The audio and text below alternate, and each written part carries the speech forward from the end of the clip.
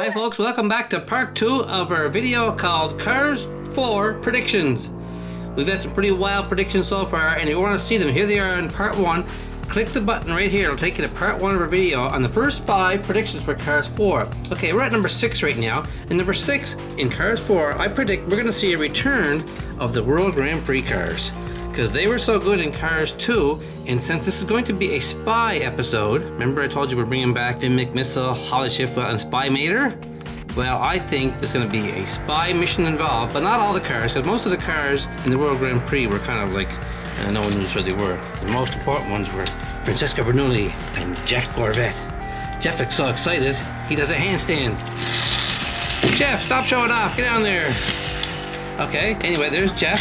I predict Jeff Gorvette and Francesco Bernoulli will be in Cars 4. And also, I mentioned before, number 7. Okay, here comes number 7. Move this out of the way. The spy team this year in Cars 4 has Miss Fritter. I told you that in the first episode. But what you don't know is Miss Fritter is a double agent the Lemons. She's working with Sterling and Professor Z and Sir Miles Axelrod. She's the trouble for the secret agents. That's number seven. Number eight, you never saw this coming. Watch this here, you ready? Chick Hicks is also working with the Lemons. That's number eight.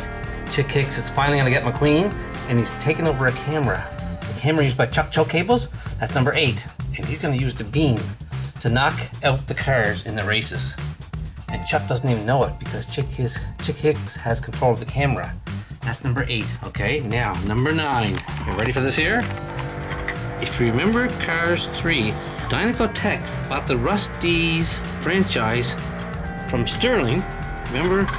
Sterling bought Rusty and Dusty out in Cars 3, and Lightning was now going to be working for Sterling, but Dinoco bought them out, and now Cruz Ramirez is going to be wearing the Dinoco colors in Cars 4, and get this, Lightning McQueen is going back to his Dream Colors Dinoco Lightning McQueen for the big race.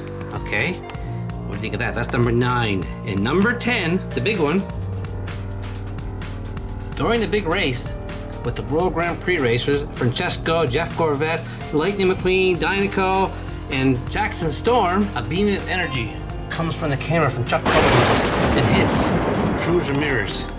And she flies through the air and lands on top of Jackson Storm.